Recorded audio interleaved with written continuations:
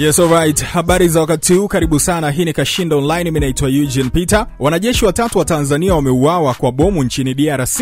Jumuiya ya maendeleo ya nchi za kusini mwa Afrika SADC ilitangaza jana siku ya Jumatatu vifo vya wanajeshi wake wanne waliotumwa mashariki mwa Jamhuri ya Kidemokrasi ya Kongo, wakiwemo Watanzania watatu waliouawa kwa bomu siku ya Alhamisi wiki iliyopita, kwa mujibu wa vyanzo kutoka Kongo. Na tangu Disemba, SADC ilipeleka kikosi katika mkoa wa Kivu Kaskazini kinachoundwa na wanajeshi kutokea Afrika Kusini, Tanzania na Malawi kusaidia vikosi vya serikali ya DRC kupambana na waasi wa M23 ambao kwa msaada wa Rwanda wameteka sehemu kubwa ya mkoa huo. SADC imetangaza hasara yake ya kwanza mnamo Februari 15 wakati wanajeshi wawili wa Afrika Kusini waliuawa kwa bomu karibu na Goma, mji mkuu wa mkoa wa kiv Kaskazini. Na ripoti inayofuata ni kuhusiana na wanajeshi wanne kuuawa kwa bomu wakiwemo watatu ambao wanatokea nchini Tanzania. Ripoti kutoka katika wizara ya ulinzi imethibitisha kutokea kwa wanajeshi wetu hawa watatu ambao wameuawa kwa shambulio la bomu,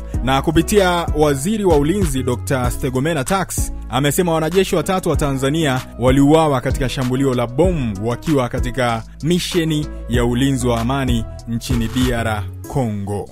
Inna lillahi wa inna lilai rajiun. Uh, nimeendelea kupokea maswali kuhusiana na shambulio lililotokea katika eneo la misheni ya SADC nchini DRC. Uh, kama tunavyofahamu, Tanzania inashiriki katika misheni ya kuimarisha amani mashariki mwa DRC kupitia Jumuiya ya Maendeleo Kusini mwa Afrika SADC, na misheni hiyo inajulikana zaidi kama SAMI DRC.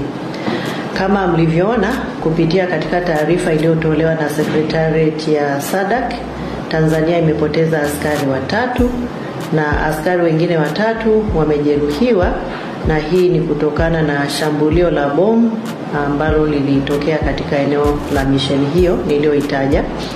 Tunaombea mashujaa wetu hawa, Mungu awalaze pema peponi, lakini pia tunaombea waliojeruhiwa waweze kupata uponyaji wa haraka.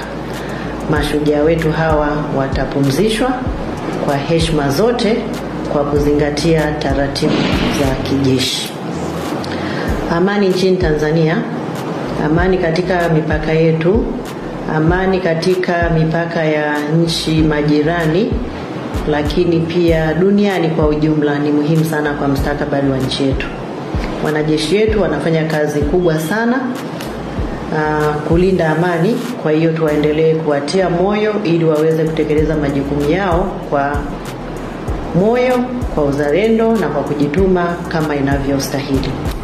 Naendelea kulipongeza jeshi letu la ulinzi la wananchi wa Tanzania kwa kazi kubwa ambayo wanaifanya katika kulinda amani katika mipaka yetu, nje ya mipaka yetu kulingana na makubaliano lakini na itifaki mbalimbali za kikanda na za kimataifa ambapo, ambapo Tanzania ni mwanachama.